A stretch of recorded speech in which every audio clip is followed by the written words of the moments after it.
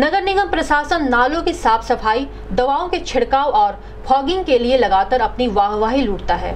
लेकिन महानगर में बहुत सारे ऐसे जगह हैं जहाँ नगर निगम की नज़र ही नहीं पड़ती है।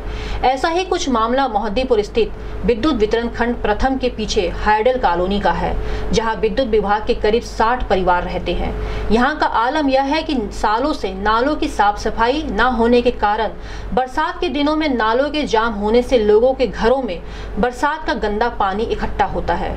जिससे विभिन्न प्रकार की संक्रामण बीमारियाँ जन्म लेती हैं और लोगों की मौत तक हो जाती है। हाइडल कॉलोनी में जगह जगह जल जमाव और बड़े बड़े घास उगे हुए हैं, जिनकी साफ़ सफ़ाई यहाँ के लोग खुद के खर्च से ही करते हैं।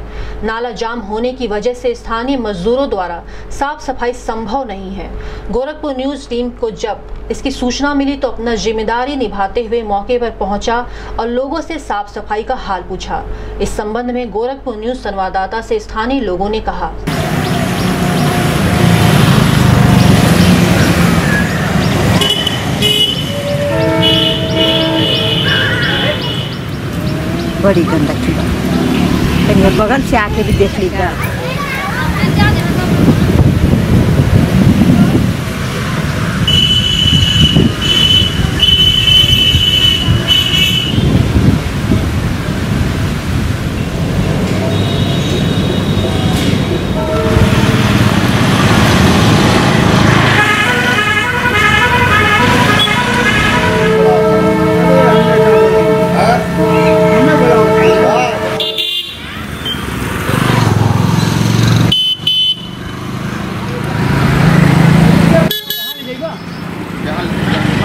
एक जन जाए घर वाले।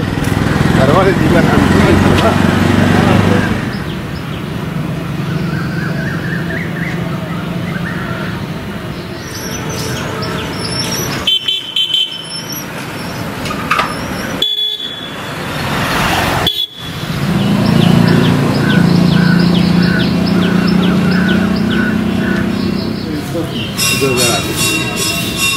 असल में यहाँ कोई नहीं सुना।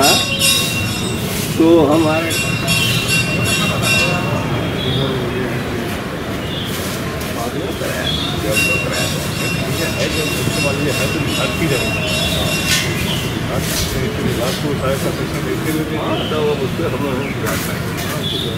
हम देखिए यहाँ रहे हैं दूर से लेकर के ऐसी तक हमें आए।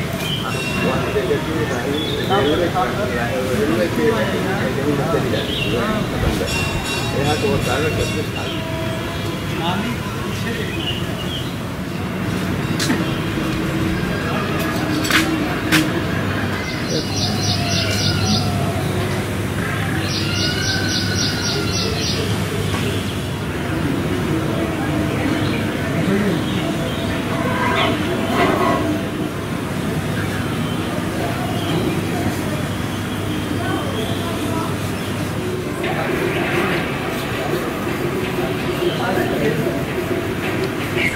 सुरेश पटेल। सूरज जी ये जगह जो है यहाँ पे कितने लोग रहते हैं इस जगह पे? कम से कम अस्सी अस्सी नियर अबाउट इस इस रास्ते पर अस्सी लोग हैं। आगे तीस तीस पैंतीस लोग होंगे। उसी में है ये भी। सभी लोग हैं इसी में। ऊपर साफ़ का सफ़ाई का जिम्मा किसको है और क्या साफ़ सफ़ाई व्यवस्था ठीक ठाक है यहाँ पे? अभी तो निगम निगम चाहिए नगर निगम के शायद सुनने में आता है कि उनके हाथ में है लेकिन अधिक अधिकांशतः हम ही लोग साफ़ कराते हैं। अपने अपने पैसे अपने खर्च से। नहीं। और जो पीछे जो नाला है वो काफ़ी दिनों से पूरा भरा हुआ है सील टूल जमी हुई है जिसकी सफ़ाई नहीं हो पा रही है सही तरीके से। और उसके उससे संबंधित कई बीमारियाँ होती हैं जिसमें एक बच्चा इस बार हो गया है उनका एक अशोक अशोक बाबू हैं। उनका बच्चा छोटा सा था उनका इस बार हो गया वो। इससे काफ़ी ज़्यादा वो हुआ हम लोग फिर अपने आप दिक्कतें होती हैं। फिर अपने हम लोग अपने आप हिसाब कराते हैं हम नौकरी वाले लोग हैं लोग समय नहीं दे पाते हैं। जिम्मेदार इसके हैं। कभी सूदी लेने आए हैं आप लोग? जिम्मेदार हमारे सिविल के एक्शन कभी आज तक इन्होंने अपना कदम यहाँ रखा नहीं है अभी तक। और वैसे समस्याएँ तो बहुत हैं कि घर सब अपने अपने घर अपने से रिपेयर करा के रह रहे हैं या चारे करता है उसका कोई वो नहीं है। नालों की साफ़ सफ़ाई की जो स्थिति है आप क्या चाहते हैं अभी? नगर निगम प्रशासन।